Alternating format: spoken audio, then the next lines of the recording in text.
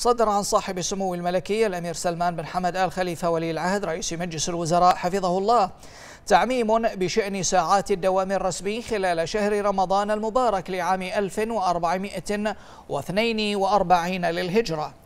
وجاء في التعميم أنه خلال شهر رمضان المبارك لعام 1442 للهجرة يكون دوام رسمي في وزارات الدولة وهيئاتها ومؤسساتها العامة من الساعة الثامنة صباحا إلى الساعة الثانية بعد الظهر.